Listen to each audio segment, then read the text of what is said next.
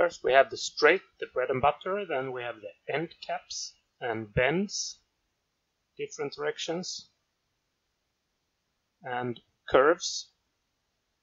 It's just mirrors. Uh, and then we have the 90 degree corners in both directions. Maybe we need more, like 45.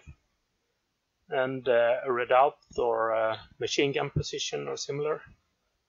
And we have a crossing to a communication trench, and then we have communication trench straight, straight with bridge or roof, and then straight with a bunker.